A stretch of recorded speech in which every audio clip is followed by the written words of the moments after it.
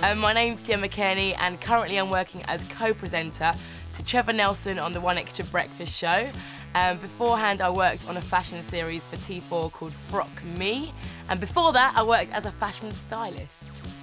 My scarf is from a vintage shop in Columbia Road in East London.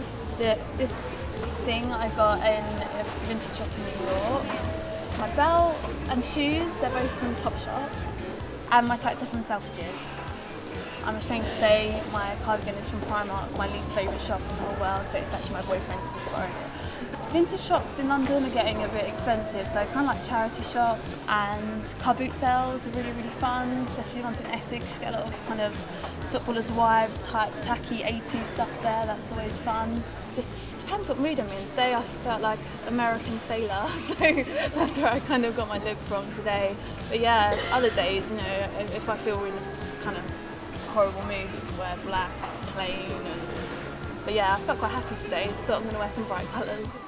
I'm pretty similar to that myself, actually. Bright colours when you're happy, black when you're not.